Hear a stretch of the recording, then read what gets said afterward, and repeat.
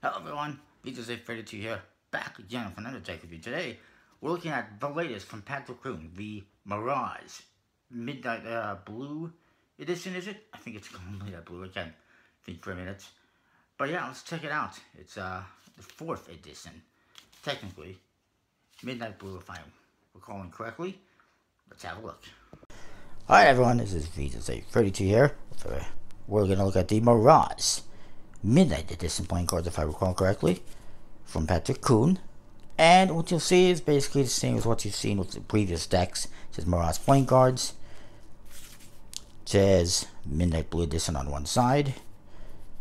Premium playing cards made in America on the other. Fourth edition on top. And in the bottom, a little ad copy. Check out his website, patrickkun.com, to get these. In the back, you see the back design basically nice embossing on a matte stock with kind of a white foil or maybe just a well actually no it's not foil it's nothing. Uh, if anything it's a little bit of I guess what it is is a UV ink white UV ink on the tuck case no seal and then flap. Learn now patrickkun.com slash secrets. I didn't tell you.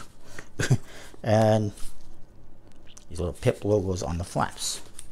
So nice tuck case it's a little bit flimsy in my opinion a little bit thin you do get, speaking of learn now, a gaff card with somebody's face on the court card.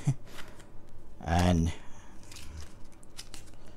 basically mirror imaged. And you also get a another card, not a gaff card, Ace of Diamonds on one side, Queen of Clubs on the other. That looks like Laura London to me. The Jokers just have that logo. Looks like a bit of metallic ink. And the backs, very nice, dark blue back design, his trademark deck. Ace of Spades is Mirage playing cards. And court cards, there's some customizations, some additions, faces on there. Outside of that, well, there is metallic inks as well, as you can see in like silver. That just looks kind of weird. Outside of that, they are standard. If you don't like that style of deck, well, that style of court card, you're not going to like this deck, so there's that. Basically a five of spades reveal there.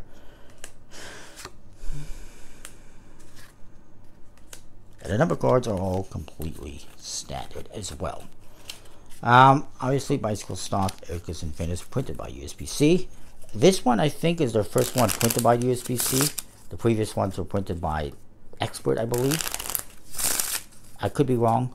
Could be a little bit mistaken on that, but feels something. I think I might have seen something like that. It's a nice stock and finish. Handles pretty good. I'll give it. I'll give it a B. It's a nice enough deck. It's probably not going to be on the top of anyone's list.